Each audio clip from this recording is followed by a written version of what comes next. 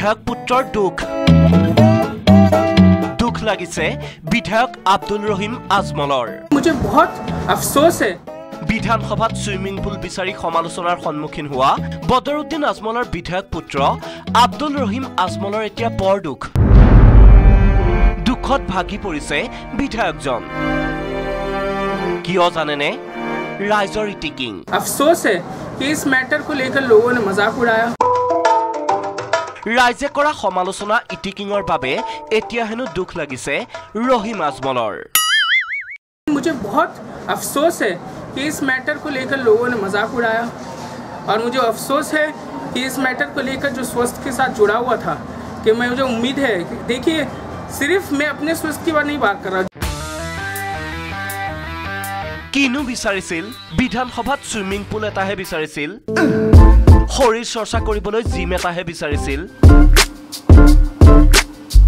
I would request that the government fulfills our uh, demand as soon as possible for a state of art gym and a swimming pool and uh, uh, so more activities can be done uh, uh, with uh, within ourselves and our body should be uh, swast and uh, our body should be perfect for the job we are doing for the whole of Assam. তাতেনো খং উঠিব লাগেনে চকু চৰহাসকলৰ ৰাইজৰ খং উঠিলেও মনত দুখ লাগিলেও আজমল পুত্ৰ কিন্তু এতিয়াও অটল বিধানসভাত জিম আৰু চুইমিং পুলৰ দাবীত কিন্তু কিয় শুনকচোন তেওঁৰ মুখেৰেই तो अलग अलग तरीके से हम लोग फिटनेस का हम लोग ध्यान रख रहे हैं क्योंकि हम लोग का फिट रहना बहुत ज़रूरी है जब इंसान का जिस्म फिट रहेगा तो उसका जहन भी फिट रहेगा আব্দুল ৰহিম আজমল জনপ্ৰতিনিধি বিভিন্নজনে বিভিন্ন সমস্যা অভাৱ অভিযোগ লৈ আহে তেওঁৰ ওচৰলৈ এতিয়া তেওঁ নিজৰ অভাৱ পূৰণৰ দাবী জনালে চৰকাৰক তাতেনো কি ভুল হ'ল সমালোচকক এই প্ৰশ্ন